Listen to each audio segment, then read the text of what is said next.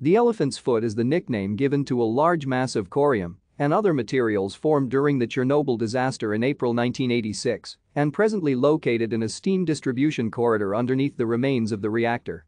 It was discovered in December 1986. It remains an extremely radioactive object, however, its danger has decreased over time due to the decay of its radioactive components.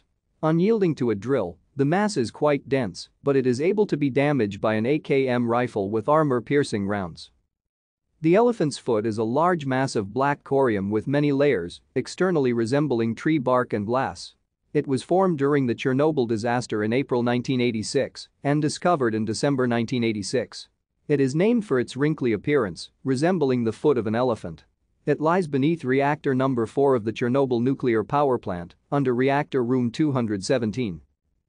The elephant's foot is composed primarily of silicon dioxide, with traces of uranium, titanium, zirconium, magnesium and graphite. Thank you for watching. Like and subscribe if you would like to view more of our videos. Have a nice day.